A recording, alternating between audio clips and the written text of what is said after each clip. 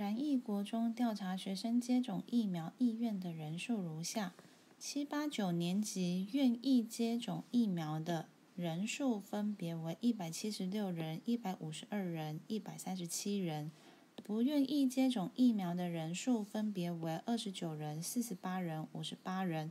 试着回答下列的问题。第一题：依上述资料制作列联表。在完成列联表之前呢，我们先来想一想两个小问题。第一个小问题就是：七年级愿意接种疫苗的人有几个人？那又该填入哪一格呢？好，我们现在回来看到题目的叙述。我现在用红色荧光笔画起来的地方，它代表的是愿意接种疫苗的人数。但是他给了三个数字：一百七十六、一百五十二、一百三十七。那哪一个数字才是代表七年级的人数呢？那么回来看到第二行的一开始，他给的是七八九三个年级这样子的顺序。他又告诉我们分别为一七六、一五二、一三七。所以我们现在就看到他给我的顺顺序，七年级摆在第一个。所以代表一百七十六相对应到的，它就是七年级愿意接种疫苗的人数。那第二个顺位是七是八年级，所以对到第二个数字一百五十二这里，所以它代表的是八年级愿意接种的人数。以此类推，到了最后一个顺位就是九年级，所以一百三十七代表就是九年级愿意接种的人数。所以现在回来回答我们刚刚那一个小问题后，七年级愿意接种疫苗的人。就会有一百七十六人，所以这里应该填入一百七十六。那这个一百七十六又该填入底下那么多空格里面的哪一格呢？那我们看到底下的表格来，现在一百七十六代表的是七年级愿意接种疫苗的人数，所以我现在就先来年级的地方找到七年级的部分。但是七年级底下对下来，它有三格诶，我现在一百七十六又应该要填在哪一格呢？我就来看最左边的地方，接种疫苗的意愿的部分。那因为这个一百七十六代表的是愿意接种疫苗的，所以我现在就在愿意接种疫苗的这里对过来，所以它是属于七年级的第一格，所以我就在这一格填上一百七十六。那我们也可以一起把刚刚的一百五十二人跟一百三十七人一起填到这个表格里。我们刚刚已经知道，一百五十二个人代表的是八年级愿意接种疫苗的人数，所以一样找到八年级的地方跟愿意接种疫苗的地方对过来，所以一百五十二应该要写在这一格。那一百三十七人代表的是九年级，而且愿意接种疫苗，所以必须要写在这里。要写上一百三十七人。那题目上用黄色荧光笔所画记的这里，代表的是不愿意接种疫苗的人数。那二十九、四十八、五十八又要填入到底下的哪几格里面呢？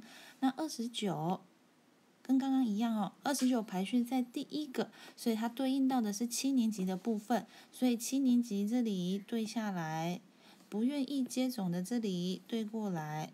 所以二十九必须填入在这里。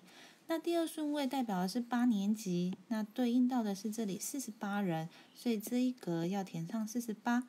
最后一个数字五十八，那它就必须填在这一格，写上五十八。那列领表的部分呢，还有六个空位。那这六个空位呢，都是属于合计的部分。